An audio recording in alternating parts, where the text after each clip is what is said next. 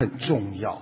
很多人不知道自己的行动和嘴巴是怎么样出来的，实际上是由你的心来控制它的。所以它和年龄、财富和环境是没有关系的。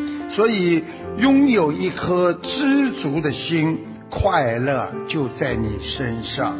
你如果这个人想得到快乐，不是增加财富，而是你要懂得降低欲望啊！你的欲望越少，你人越快乐；你财富需求的越多，你越痛苦啊！看看别人好了，以为我为什么不能这么做？